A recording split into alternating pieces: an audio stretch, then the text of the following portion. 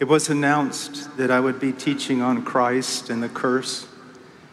And um, I have made that subject a greater part of my life study. Um, the cross, the work that was accomplished there on behalf of God's people. But as, as this few days have passed, an earnestness for another text just was growing in my heart. And uh, I felt like this morning I would be in disobedience if I didn't preach from that text. So I set out with pen and paper and to preach what I'm going to preach to you um, tonight. I do appreciate the kindness, uh, Josh's kindness toward me. But, but I want you all to know that as there are no great men of God, never has been, never will be. There are only small, tiny, weak, faithless men of a great and merciful God. And to whatever degree God uses you, you must understand that He always chooses the runt of the litter, always, so that glory might go to Him. We're going to be studying 1 Timothy chapter 4. And I'm going to read the text if, if all of you would stand for the reading of God's word. But the Spirit explicitly says that in latter times some will fall away from the faith, paying attention to deceitful spirits and doctrines of demons, by means of the hypocrisy of liars seared in their own conscience as with a branding iron. Men who forbid marriage and advocate abstaining from foods which God has created to be gratefully shared in by those who believe and know the truth. For everything created by God is good, and nothing is to be rejected if it is received with gratitude, for it is sanctified by means of the word of God and prayer. In pointing out these things to the brethren, you will be a good servant of Christ Jesus, constantly nourished on the words of the faith and of the sound doctrine which you have been following. But have nothing to do with worldly fables fit only for old women on the other hand, discipline yourself for the purpose of godliness. For bodily discipline is only of little profit, but godliness is profitable for all things, since it holds promise for the present life and also for the life to come. It is a trustworthy statement deserving full acceptance. For it is for this we labor and strive, because we have fixed our hope on the living God, who is the Savior of all men, especially of believers. Prescribe and teach these things. Let no one look down on your youthfulness, but rather in speech, conduct, love, faith, and purity, show yourself an example of those who believe. Until I come, give attention to the public reading of Scripture, to exhortation and teaching. Do not neglect the spiritual gift within you, which was bestowed on you through prophetic utterance, with the laying on of hands by the presbytery. Take pains with these things, be absorbed in them so that your progress will be evident to all.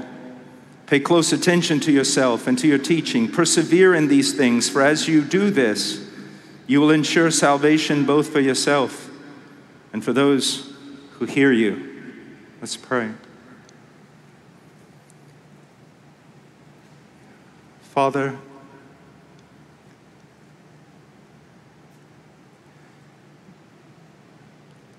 I come before you in the name of your Son. And I pray that you will help us, that you will give us hearts.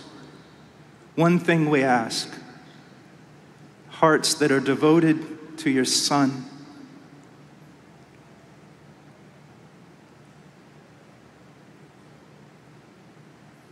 Increase our fear of thee. Teach us to walk in your ways. In Jesus' name, amen. You may be seated. I want to begin with something of a, with some history. We are moving into a time in which the gospel and those who preach it are an ever increasing scandal, not only to the world, but also to, to many who associate themselves with Christ and the church. But what I want you to see is this is not a strange thing that has come upon us. It is commonplace throughout church history. We need to recognize that and we need to live accordingly. Paul writes, For the word of the cross is moria, foolishness to those who are perishing, but to us who are being saved, it is the power of God. There we see the great divide between two peoples those who follow Christ and those who do not. Again, Paul says, For indeed, Jews ask for signs and Greeks search for wisdom, but we preach Christ crucified. To Jews, a scandalon, a stumbling block, but to Gentiles, again, moria, foolishness. But to those who are called, both Jews and Greeks, Christ, the power of God and the wisdom of God. In the annals of Tacitus in the first century, the gospel of the cross is described as a pernicious and harmful superstition. In the letters of Pliny the Younger in the first century, it is referred to as superstitionem pravum immodicam, a perverse and extravagant superstition.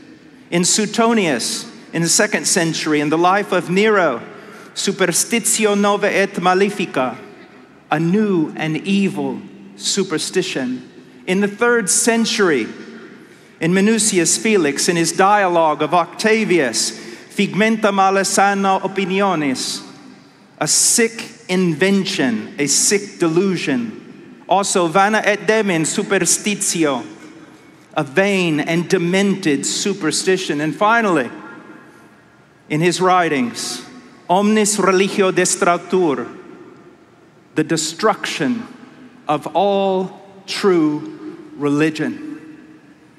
That is the way the world saw the cross and saw those who proclaimed it. In an oracle of Apollo preserved in the writings of Augustine, a man asks a question what can he do to dissuade his wife from the Christian faith? And this was the counsel that was given to her. Let her continue as she pleases, persisting in her vain delusions, and lamenting in song a God who died in delusions, who was condemned by judges, whose verdict was just, and executed in the prime of life by the worst of deaths, a death bound with iron.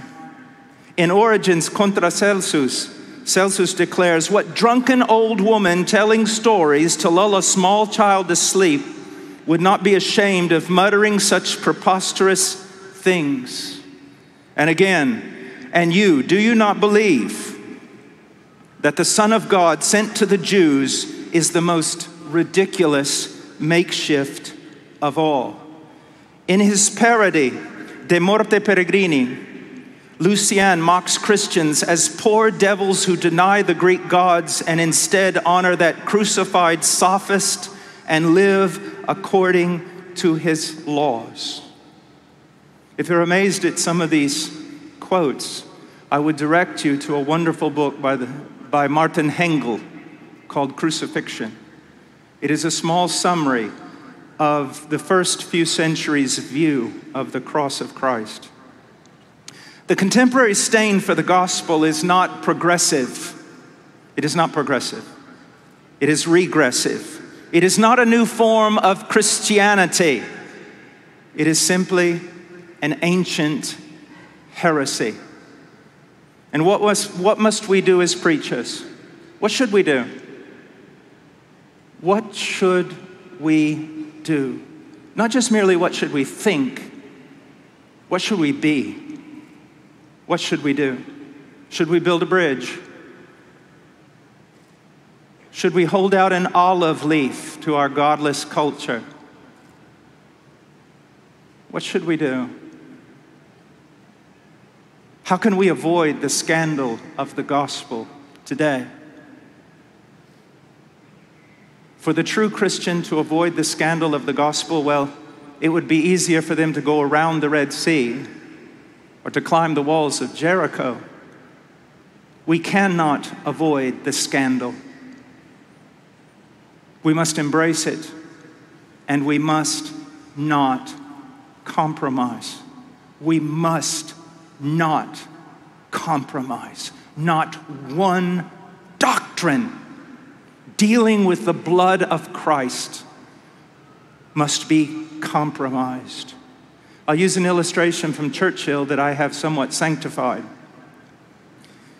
In his wranglings with other politicians regarding the whether or not to engage Nazi Germany in war,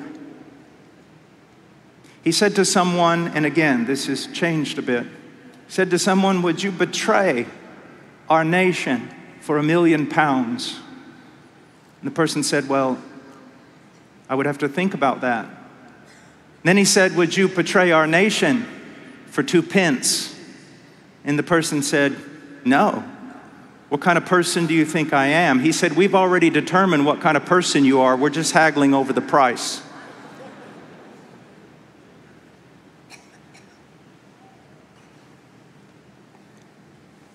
We have no choice today, not anymore.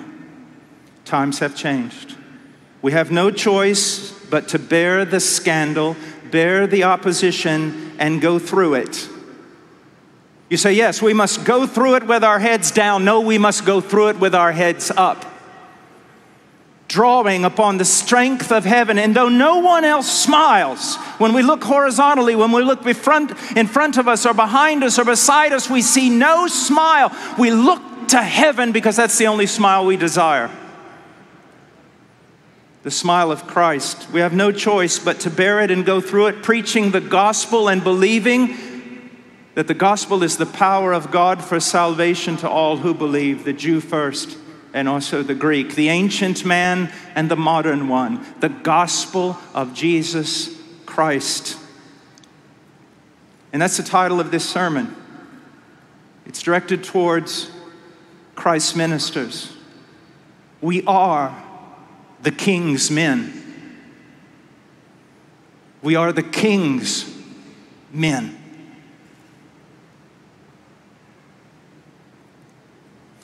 We've now moved in a into a time in the West, my brethren, when it is very possible that we are going to experience the solemn and terrible privilege of first century persecution. But if we hold our course, if we refuse to compromise, we may also experience the first century power of the cross and the power of the Holy Spirit. You say, Well, I don't know. I don't know if I'll be able to bear it. I know you will be able to bear it if you belong to Him. I was a farm boy cast into the middle of a war for 10 years in Peru, saw atrocities, experienced fears and dangers that I never could have imagined.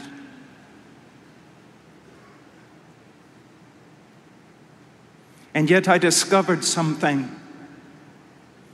When the violent take you by force, there is something that happens in the inner man. Christ does not depart, He becomes real and He makes you strong. He is faithful. No matter what we have to endure in the coming decades, we should not fear if we stay with Him, if we honor Him, if we do not break. So, here's my admonition before we take the text. Let's go forward. Let's go forward. And not primarily to defend the gospel, but to do what some of us have done now for decades proclaim the gospel. And then stand to one side and admire as the gospel of Jesus Christ defends itself and proves its power. But the gospel we preach must not be adorned with eloquence, it not, must not be adorned with your intellect. The raw gospel, the real gospel, the gospel of the cross, the gospel of blood, the gospel of vicarious suffering. If we will proclaim it, we will see the glory of God. We will see the glory of God. But, but remember this to the degree that you trust in the arm of the flesh, you will see less of this power of which I speak. And the more you abandon all these carnal trappings of modern evangelicalism, the more you will behold the power of God. A preacher standing alone, defying the world with a message of love. Christ came to save sinners, among whom I am chief. Before we begin, I want to say this. It's very, very important. I'm speaking primarily to ministers, but it applies to all of us. I am sure that you are all familiar with Ephesians chapter 4, verses 11 and 12. There's something very important about that text that is often overlooked. It is one of the few places, if not the only place, in the New Testament that tells us directly how the church is built up how it is strengthened, how it is edified. It is through evangelists, pastors, and teachers. So if we apply reason properly, we come to this conclusion. If the church is weak, it's not the fault of politicians.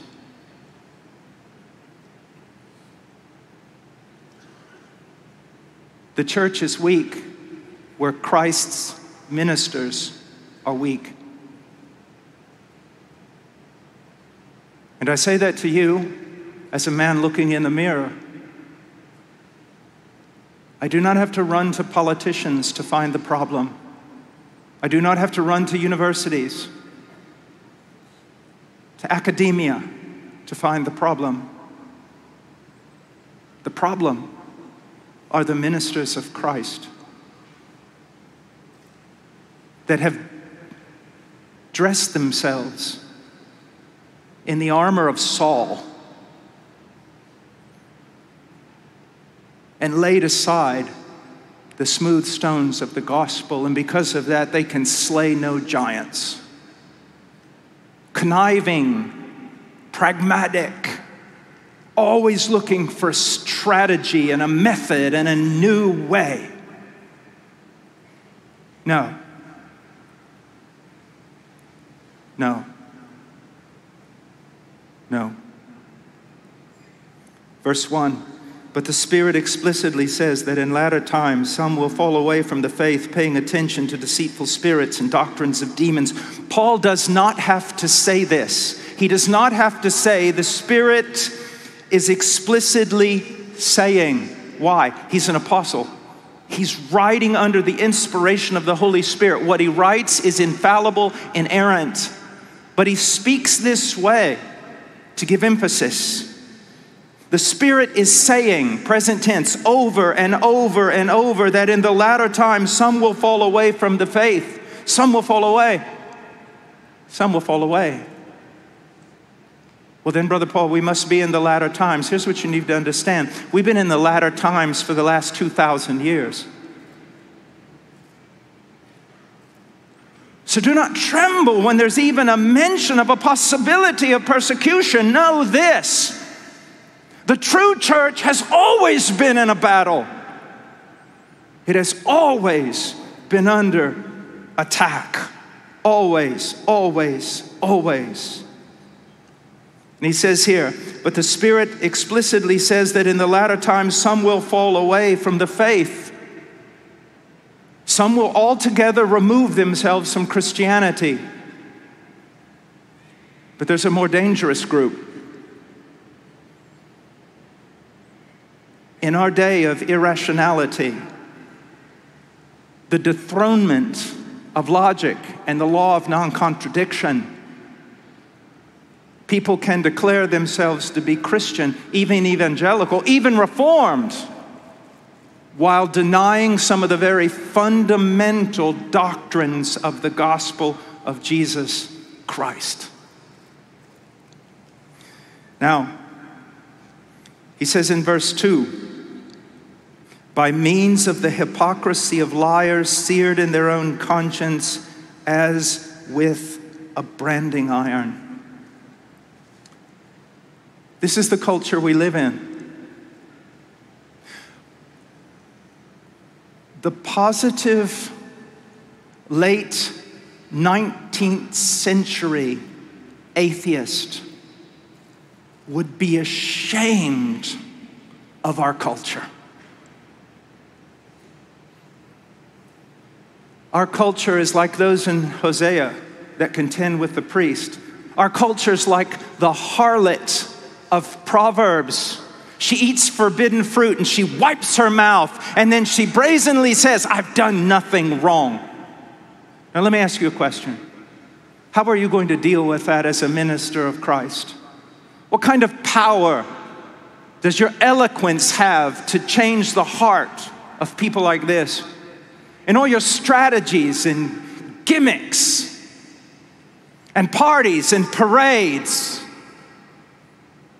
What can they do against something like this? You need to understand the heart of man is like Jericho. It is tightly shut up. No one comes out and no one goes in. And so is this culture.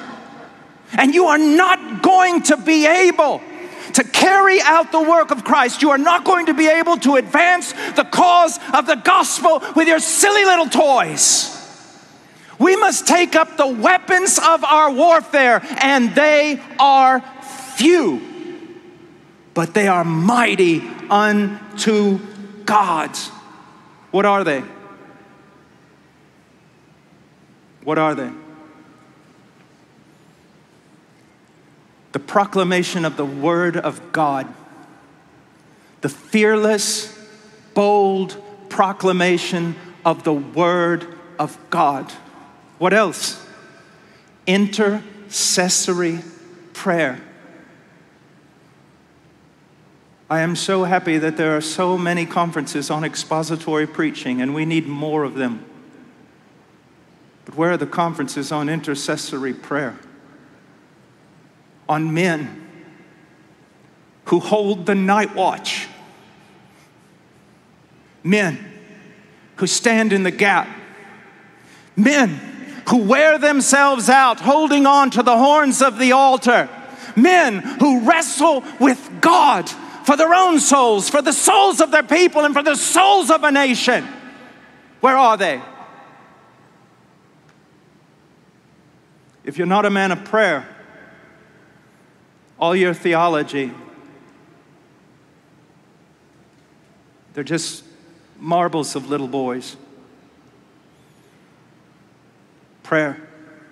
What else?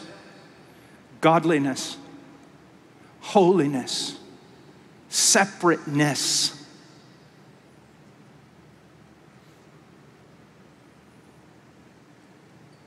A young man walked up to a concert violinist one day as the story goes, and said, I would do anything, I would do anything to play like you.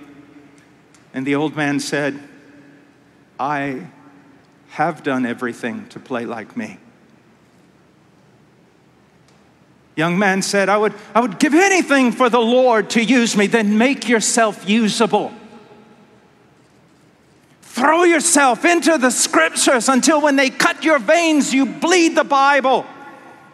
Throw yourself on your knees. Spend more time with God. And then discover in the scriptures all the things that God hates and avoid them like the plague. And discover all the things that God loves and embrace them to your bosom. You want God to use you. The weapons of our warfare are these things. These things. And the man of God has no need of anything else.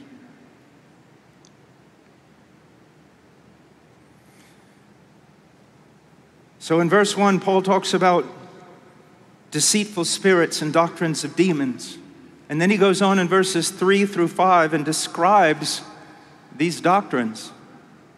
Men who forbid marriage and advocate abstaining from foods which God has created to be gratefully shared in by those who believe and know the truth. For everything created by God is good, and nothing is to be rejected if it is received with gratitude, for it is sanctified by the means of the word of God in prayer.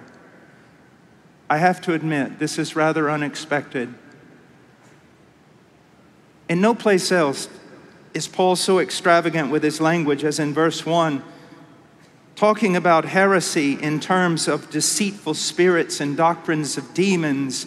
And then we come to verses 3 and 4, and he's simply talking about people who forbid marriage and abstain from eating certain foods. We would think that Paul would now go on to talk about maybe, I don't know, the worship of Satan or the mark of the beast or gross immorality. But he talks about these things that, although they, they are aberrant and can be dangerous, it's difficult for us to understand how they could be put in the category of doctrines of demons. But what I want you to see is this Paul's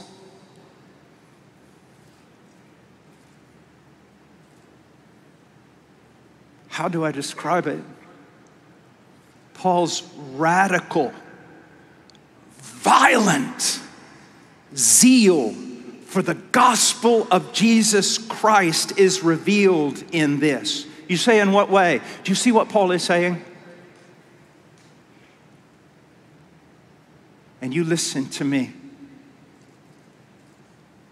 any doctrine, any principle, any law, any teaching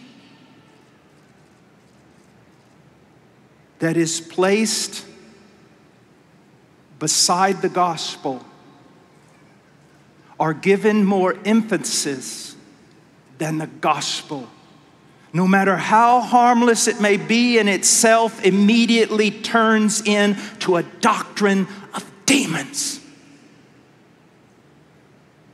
We can see, especially in the book of Colossians, but also Ephesians, we can see in 1st and 2nd Timothy, Paul was a steward of the gospel. He was a guardian of the gospel. And you know what he was doing. If you read his epistles carefully, he was not only preaching the gospel, he was constantly, constantly, constantly giving it the preeminence and teaching the church about the preeminence of the gospel of Jesus Christ. That of all things, it stands first, because without it, all things fall apart, fall to rubbish, and we find ourselves no longer saved. Do you see this?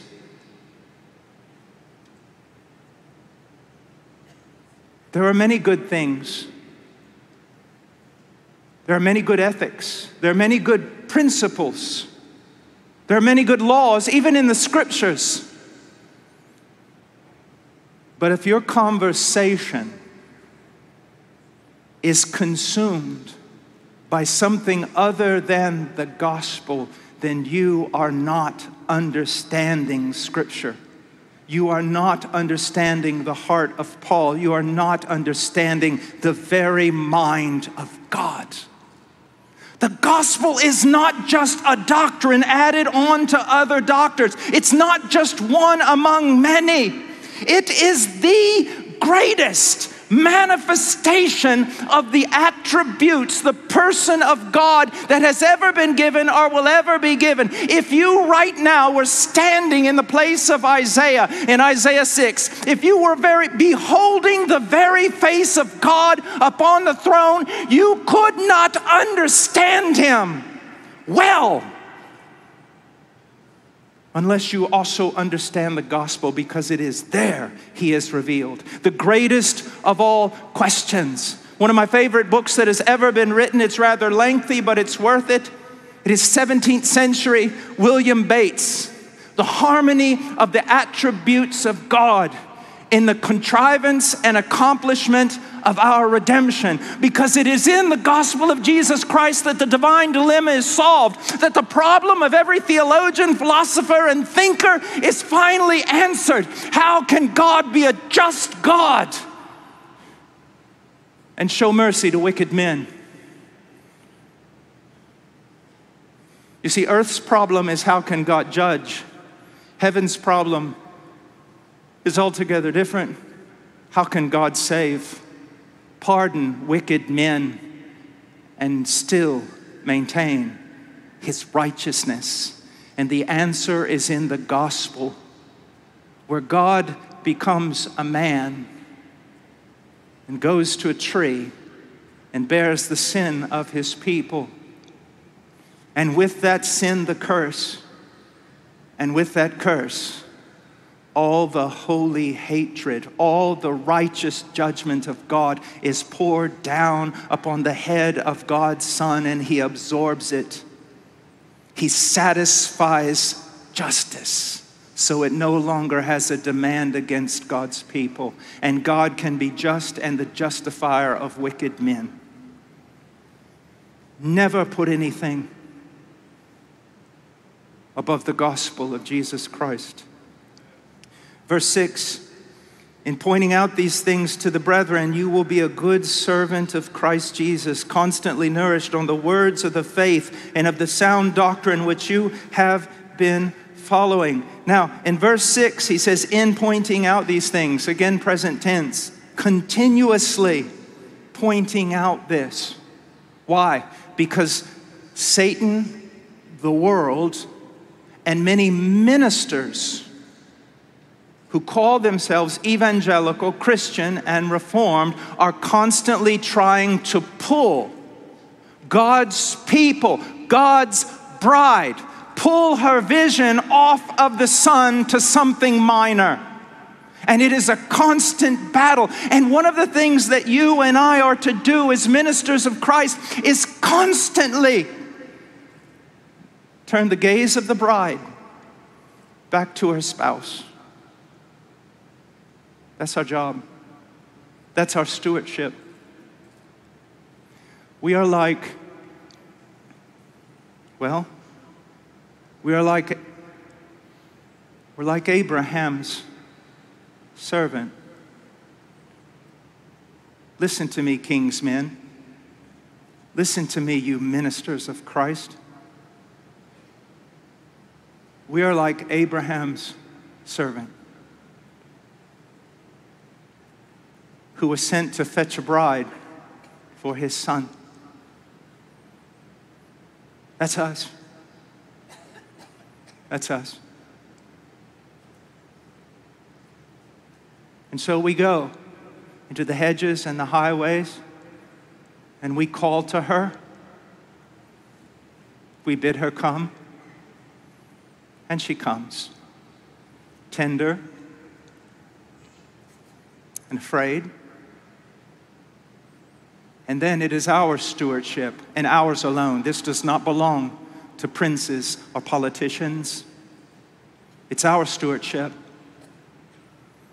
to now lead her through the wilderness to her spouse.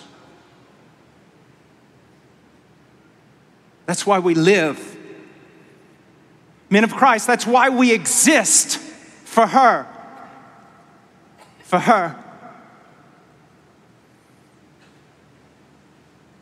And every time we see a doubt in her eyes, we take one more jewel of the gospel and we place it in her hand and we say, He is worth it.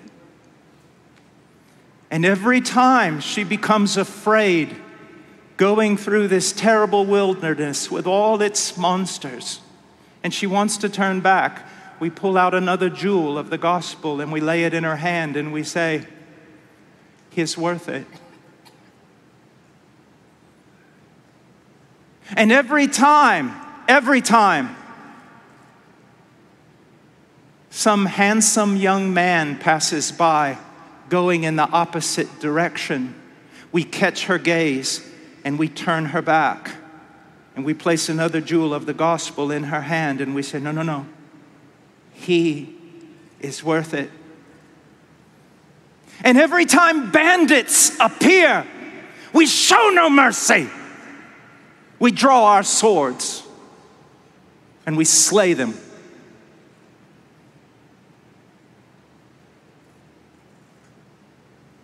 And we do that until the day that He appears.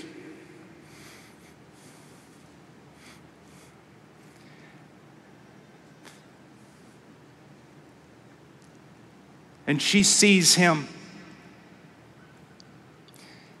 and her face is all aglow because her garments are white. And one last time, she turns back.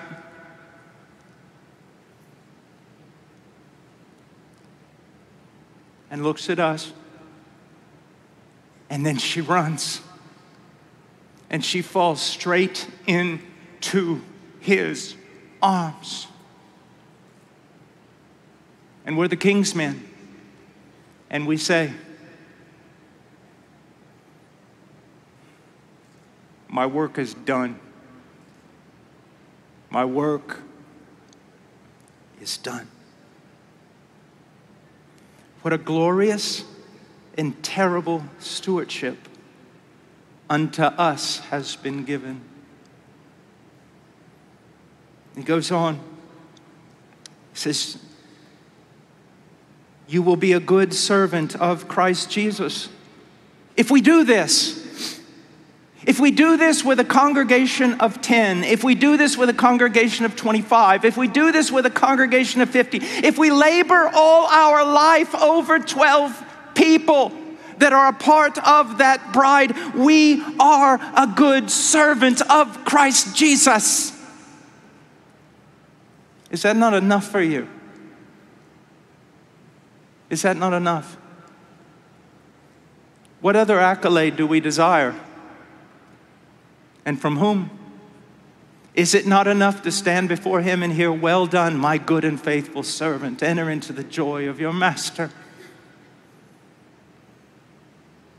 Enter into the joy of your master. The word servant here, diakonos, He's not saying that Timothy is a deacon necessarily, but he's bringing out a very important aspect of the ministry. The fact is that Christ's men, the king's men, are servants. We are ministers. We are stewards. Now it says here, servants of Christ. It's in the genitive, and I believe that sometimes the genitive just kind of overcomes its borders. It's a genitive of description. We are, our lives, our ministries, everything is defined by the person of Christ. It is a genitive of possession. He owns us.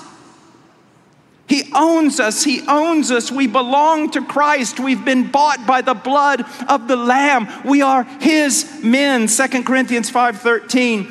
For if we are beside ourselves, it is for God. And if we are of sound mind, it is for you. For the love of Christ controls us, having concluded this that one died for all, therefore all died. And he died for all so that they who live might no longer live for themselves, but for him who died and rose again on their behalf. We have been bought with a price. There was a sense when we came to Christ that our bondage was gone There was another sense in which it was replaced with another bondage the love of Christ. And don't look inward on this. Paul was not saying the motivating force in his life was his love for Christ. He is saying that the motivating force in his life was Christ's love for him. Your love, like mine, is up and down and back and forth. It is nothing to find comfort in, but Christ's constant love for us. Now, there is power. There is power. Now, I want you to look with me for just a moment. We're, we're in 1 Timothy, but I want us to go over to the book of Revelation, chapter 14.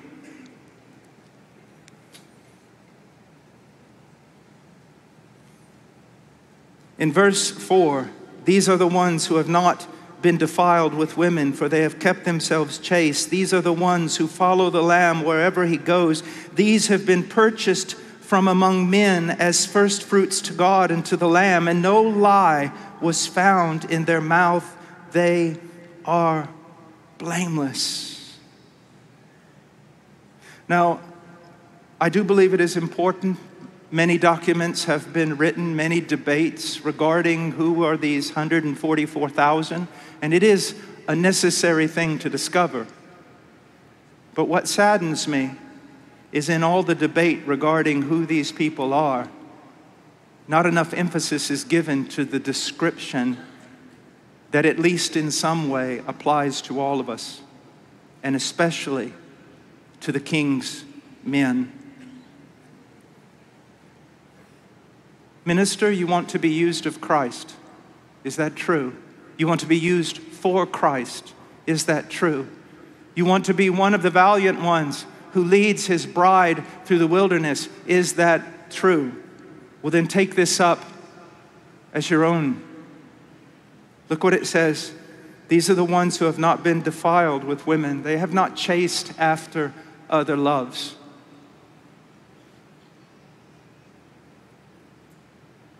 They have not chased after other loves. They have kept themselves chaste. They belong to Christ and Christ alone. They'll not soil their garments with another. These are the ones who follow the Lamb wherever he goes. And how can you do that? Except by the word of the Lamb, the scripture. Follows the Lamb wherever he goes, not the culture, not the latest fad in Reformed theology no, follows the Lamb wherever he goes. These have been purchased from among men. No lie was found in their mouth. They are blameless. And in another place, of course, they did not love their lives, even unto death. Don't you see, men, in this world that is so mundane, so colorless, so blah, so without purpose. You and I have been given a purpose. We have been given a stewardship. We have been called into battle. We have a reason to live. We have a reason to die. And we can go forth seeking glory and immortality from the one who died and rose again from the dead. Something to fight for. He goes on. He says, constantly nourished on the words of the faith and of the sound doctrine. How can we be this kind of man that I'm talking about? How can we be such a servant? He says, a good servant, and then he says sound doctrine. In both those cases, in the New American Standards, different words in English, but it's the same word in Greek, kalos, good. And what does it teach us? A good servant of Christ Jesus is the result of good doctrine. But not just doctrine. And this is somewhere where I want to plant myself for a moment. Dear brothers, I have spent 30 years reading men that I cherish, particularly the reformers, but mostly the Puritans. I love the Puritans. I study the Puritans. I, I bring together passages of the Puritans. I, I, I love the Puritans. But they're writing about something. They're writing from what they know about a book. I need to read the book. I need to be nourished in the word. And you young men, listen to me, listen to me. I'm not talking about a 45 minute quiet time. I'm talking about if you're going to go into the ministry, you eat this book, you consume this book, you live this book. This book is everything. You bleed this book when they cut you. It's not just knowing, it's not less than knowing, but it's more than knowing. It is feeding upon the scriptures. Feeding upon the scriptures. You say, yes, the scriptures, scriptures, scriptures. But you need to understand, especially from Paul's prayers in Ephesians 1 and Ephesians 3, he had no understanding of learning anything from God where prayer was not included.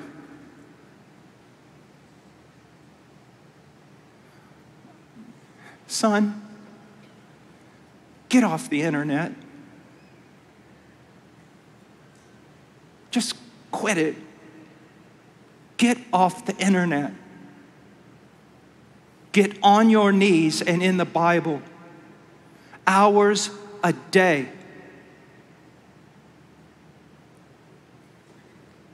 And for all you young reform guys, the Bible consists of more than the book of Romans and the book of Ephesians. Read from Genesis to Revelation over and over and over and over again. I can tell you something. In most cases, if I have two men with the very same doctrine and I listen to them long enough, I can tell which one learned it from a systematic theology and which one learned it from Scripture. Now, you need both. Do not misunderstand me. But nothing trumps the study of Scripture, and nothing trumps prayer. Prayer, not just intercession, not just crying out for the nations, not just crying out for your family, communion with God. Remember, He is a servant of Christ Jesus. That is not just horizontal, it's vertical ministering unto the Lord. The greatest missionary movement in the history of the church in Acts chapter 13 occurred while men were ministering unto the Lord. Let me say this. Your public ministry, and I say this in the fear of the Lord, your public ministry should just be the tip of the iceberg of your life. Below the water is a man shut up to God. While everyone else is playing, while everyone else is conversing, while everyone else is surfing the internet for the next great sermon, The man of God is on his knees. The man of God is in the Word. The man of God awakes in the night watch and he tarries there. The man of God doesn't just pray to intercede, he prays to see his face. He cries out, Show me your glory. I cannot live unless I see you in clearer light. And I will tell you this I am reformed. I am reformed Baptist. But I will not allow anybody to take the supernatural away from me. And I'm not talking about these silly boys talking about silly gifts. I'm talking about the supernatural nature of an intimate relationship with God, in which God becomes more real to you than 6,000 people in a room. To dwell with Him. He is so precious. And yes, sometimes it's like a ceiling of bronze over your head. How do you pray? I'll tell you what was told me many years ago.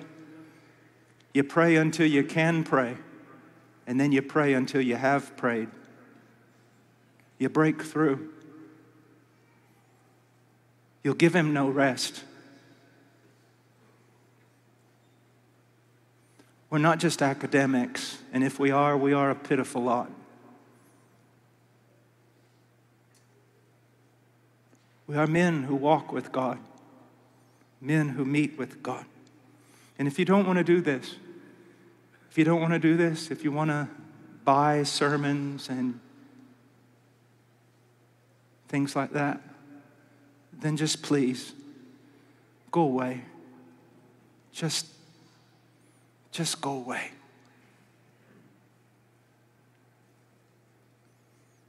Some of you are here and you're saying, but my mind so limited. My heart feels so tight. There's no broadness of spirit in me. I know. I know. Young man, listen to me. As now Paul the aged, the weakest man on the planet, who will see his weakness and hide under the shadow of the Almighty. He'll at, at least be usable for something. And that is enough, isn't it? Let's go on. He says, constantly nourished on the words of the faith and of the sound doctrine which you have been following. This is very important. Hiebert makes a very important point here about the perfect tense. Timothy was not only learning and teaching sound doctrine, but it had become the settled practice of his life. Teach them to do all that I commanded you. Training in righteousness. Part of that great passage in 2 Timothy chapter 3 verses 16 and 17, the word of God for training in righteousness to mold our lives according to what is written. You see, you misunderstand the Reformed faith. You really do, some of you at least. You think it's all about one doctrine of soteriology. Well, that doctrine is important. But if you really break it down, the reformers were about one thing, and all the other goodness came forth from that one thing, and that is sola scriptura, Scripture alone to look at Scripture. That's why they said semper reformanda, always reforming. Why? Always looking at Scripture, always seeing need for change, always praying for change, always striving for change. To conform every aspect of not just our ministry, but our lives and every aspect of our life to the Word of God.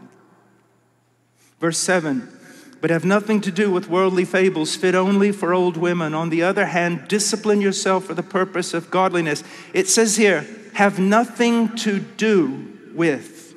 It can also be translated, utterly reject. Now, what falls into that category? That's very simple. Everything outside of Scripture, everything that contradicts Scripture and everything that some men seek to add to Scripture. I want to read a passage that really, really grabbed my life as a young man. It's in Isaiah 8. When they say to you, consult the mediums and the spiritists who whisper and mutter, should not a people consult their God? Should they consult the dead on behalf of the living, to the law and to the testimony? If they do not speak according to this word, it is because they have no dawn. Christ and Christ's wisdom needs no help from men, not within the church, and certainly not from without. Do you understand me? The world has nothing to say to us about God or the will of God or the work of God. Absolutely nothing. And even the smallest hint of it should be utterly rejected. Flee from it like a man fleeing from the plague. To the law and testimony, if they speak not according to this, they have no spiritual light at all. Let's hurry through. Verse 8 For bodily discipline is only of little profit, but it is of profit. Little profit, but it is of profit. I want to be. I have had a massive heart attack. My left knee is totally replaced. Both my hips are totally replaced, and my wrist is made of metal. It's held together with pins. But I tried to eat right, ministers. And I exercise daily, ministers. Why? To live as long and as strong as I can, to give as much of me away to Christ. Where do you find the time? Maybe I don't spend as much time in front of a screen as you do. I'll give you a challenge. Every week, I think somebody told me that you can know how much screen time that you've had on your phone and all these other things. Is that true? Well, every day, every week, compare your screen time to your prayer time.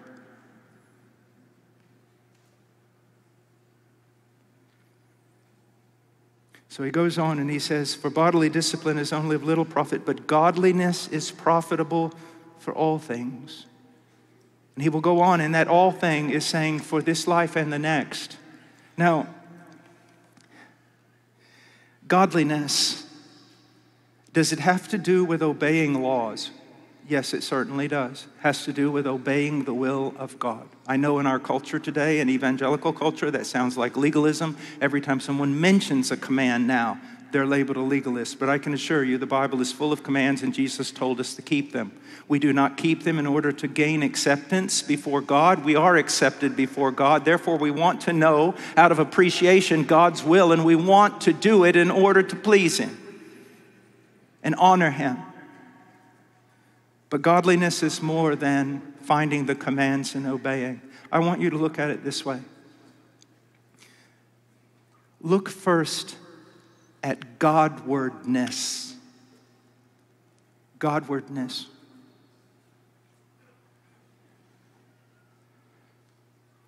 When you study the scriptures, read the scriptures, it's Godward. I want to know you. When you pray, it's Godward. And if you maintain yourself in that discipline long enough, do you know what begins to happen? your daily life becomes Godward. And then do you know what begins to happen?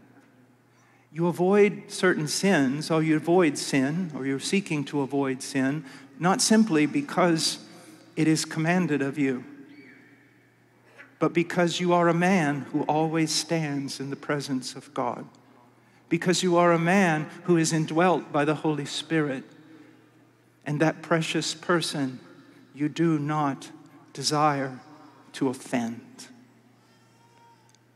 Let's go on 9 and 10. It is a trustworthy statement deserving of full acceptance, for it is for this we labor and strive because we have fixed our hope on the living God who is the Savior of all men, especially of believers. Now, I do not have much time, but I want to say something here that's so important. And if, if you're a church member here, and you're not a minister and you have a minister that you love, take this to heart, but also take it to heart for yourself and take it to heart for your family and for all the believers around you. And this is the truth I want to convey. The essentiality of hope is entirely overlooked. Hope is foundational in the Christian life. My dear brother Tom Buck asked me today, he goes, How are you doing physically? And I said, Well, the physical kind of comes and goes, but my main problem is often passing through the slough of despondency it seems like things get hopeless. And it weakens me to the point beyond what I would choose to share with you. And then when someone comes to me with encouragement from the word, it seems that my strength even is renewed. I have, in the last four years since my heart attack, I have learned something of the power of hope. Hope founded on the scriptures, hope founded on the promises of God, hope founded on the character of God. Let me ask you a question Do you not know a man can live 40 days without food? He can live three or four days without water. He can live, some say, five, ten minutes without oxygen. How long can a man live without hope?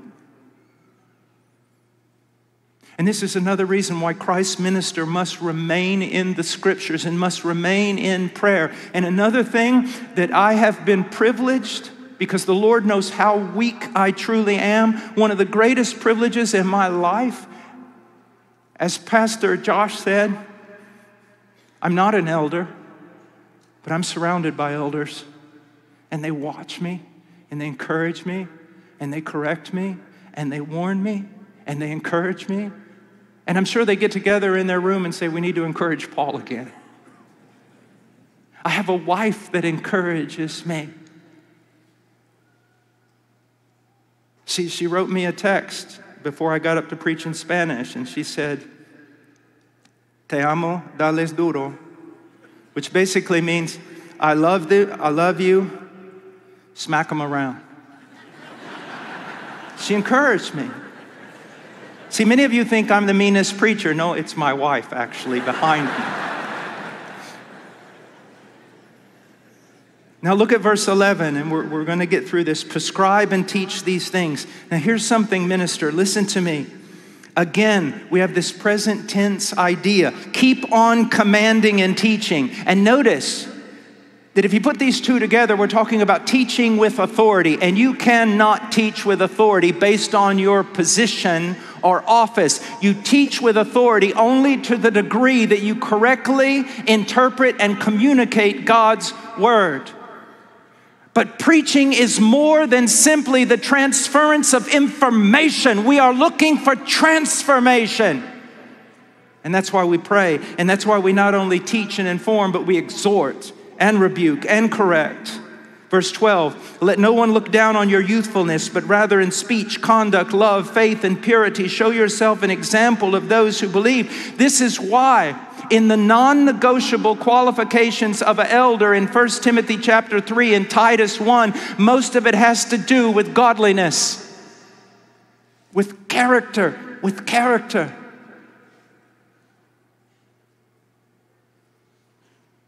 There is a sense in which the minister should be respected because of his office. There is another sense in which the minister must earn the respect of his people, and it is not a once and for all thing. Also, the minister of Christ must not only preach, but he must be something of a walking sermon, an example to the flock. Now we must Go on. Verse 13. Until I come, give attention to the public reading of Scripture, to exhortation, and to teaching. This public reading of Scripture is greatly neglected. I see in evangelical churches and Baptist churches and where I go, and I wonder where's the reading of Scripture? Where is it? In the meeting. Well, if we read a chapter or two chapters in the congregation, the people, you know, they're, they're people of the internet. They won't be, a, oh, I thought we were supposed to let Christianity change culture and not let culture dictate our Christianity. You teach them to listen you read the Word of God, public reading of Scripture, to exhortation and teaching. Now, this seems backwards here, doesn't it? You would think he would say teaching and exhortation, but he says exhortation and teaching. Why? Maybe Timothy was timid. You'll get in little trouble just merely transferring information to somebody. The difficulty comes when you exhort them to obey what has been communicated. We go on. Do not neglect the spiritual gift within you, which was bestowed on you with, through prophetic utterance, with the laying on of hands by the presbyter. What does that mean? Do not be falsely humble with regard to what God has given you. Identify what God has given you, man. If He's made you a minister of Christ, He has gifted you to carry that out. Know what those gifts are, but do not be apathetic toward them. Do not be passive, but you must go forward and forward and forward, ever honing, ever improving character and ability. This is one of the reasons why we study, so that we are simply a sharper instrument. Verse 15 take pains with these things. Take pains. It's not easy. Be absorbed in them. Of course, the word absorbed is not there in the Greek text, it's simply be in them. For the sake of time, let me just say this. You have a pool of water on a table. There's the water. Everyone can see the water. Then someone brings a towel, puts it over the water, and removes the towel. Everyone looks at the table. They can't find the water. Where's the water? The water's in the towel. Where's the minister? Where is he? He's in the Word of God in prayer. Or is he a mover and shaker? He ought to be in the Word of God, the ministry of the Word and prayer. When I was in Peru, many of the pastors would laughingly refer to my wife Charo as La Gran Querubina, the great cherubim. They said she stood at the door of the house with a flaming sword, looking this way and that way because they would drop by the house unannounced at 9 o'clock or 10 o'clock and say, I, I just came to see Brother Paul. My wife would say, Did someone die? No. Did Jesus come back? no. Then you cannot see Paul until 12 o'clock. Now I'm going to prepare lunch and you can eat with him if you would like but he's alone.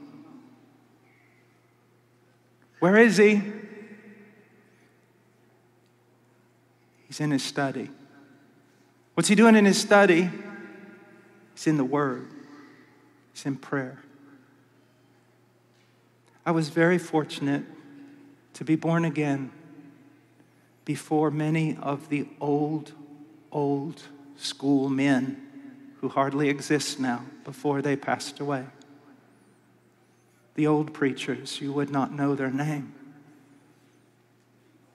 But they had more knowledge of God in their finger than I have in my entire body. You don't know their name. They prayed for hours and you don't know their name. They saw marvelous works of God. You don't know their name. They weren't. We asked Richard Owen Roberts one time, what's the difference between the great men of God of old and the men of God today?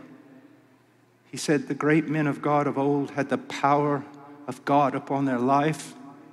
Many of the men today are just very, very intelligent.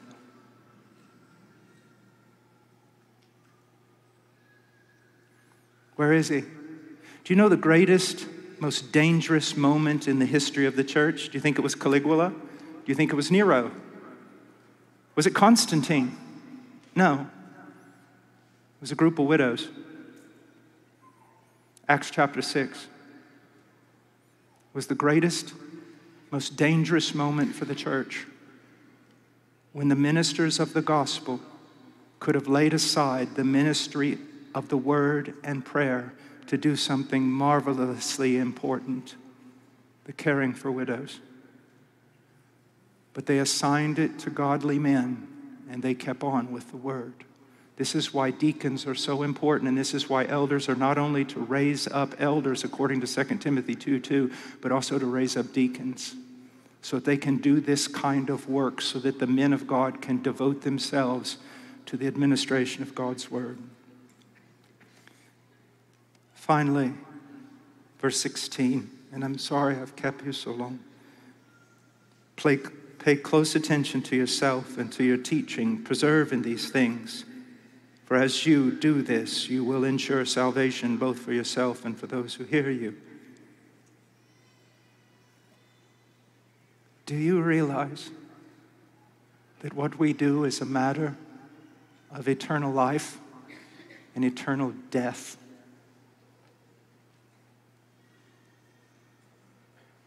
even as I'm preaching, it is very possible that I am looking at some people who will spend eternity in hell, others who are on the long road to glory. Preaching, it's an oracle, it's a burden, it's crushing, it's crushing because it's about life and death and heaven and hell. Minister of Christ, be encouraged. Providence may determine the size of your ministry and whether or not your name is ever known.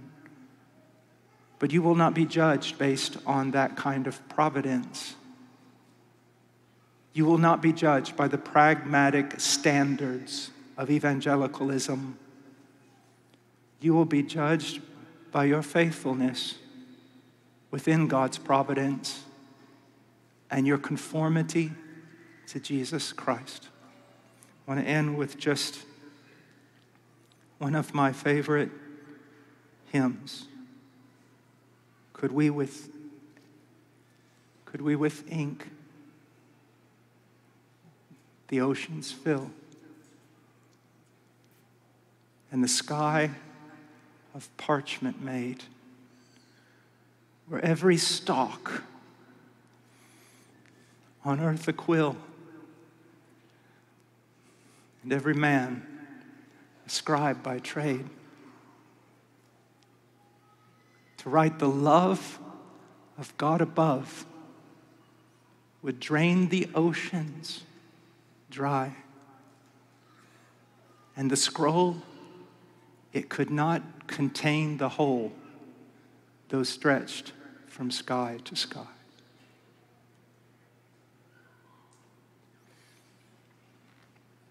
And that is very encouraging.